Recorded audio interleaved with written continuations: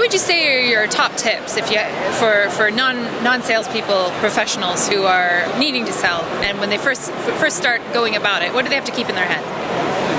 Right.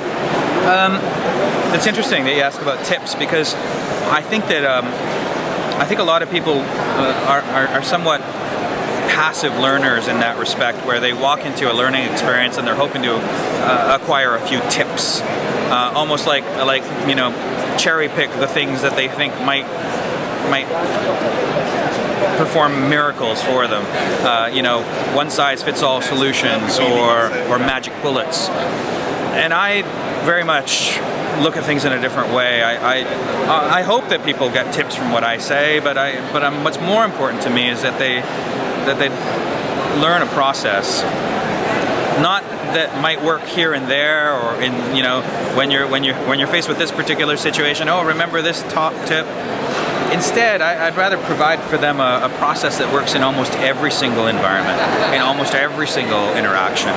Um, that takes a lot more work on my side to be able to consider the different uh, uh, situations that might occur and and to, to, to put together a process that might apply to these varied situations, but I believe that that's the kind of information that works best. That's the information that sticks with people.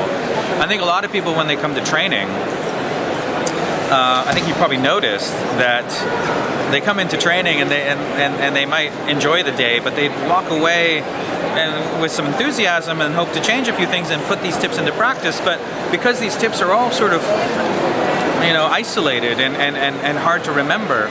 Um, they might put a few into practice here and there, but they don't necessarily do it routinely. And so the the benefits of those tips erode over time because they're not used, and, and, and as well, they don't apply in many of the situations that you find yourself in in reality. So what I prefer is, is that people come out of my learning experiences with real, clear uh, actionable processes to put into place from the very next day um, that they see me and that they work with me. Um, processes that they can that they can use in almost any interaction.